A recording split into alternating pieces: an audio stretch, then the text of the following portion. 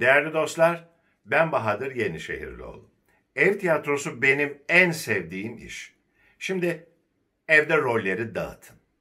Açılsın perde, evdeyiz. Sanatla beraberiz. Kesinlikle kendimizi riske atmıyoruz.